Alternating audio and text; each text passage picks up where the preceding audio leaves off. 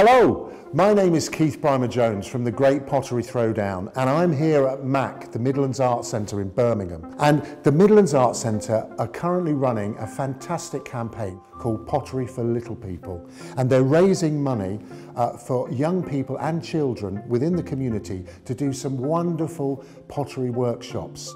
They've got fantastic facilities. Now, I remember when I first started pottery, I was about 11 at school, I touched that piece of clay and look at me, I haven't stopped.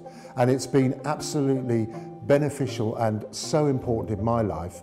And I just want people to engage with clay, with their hands, and do some cognitive creative work. For me, it's just so, so important to engage with doing something creative with your hands.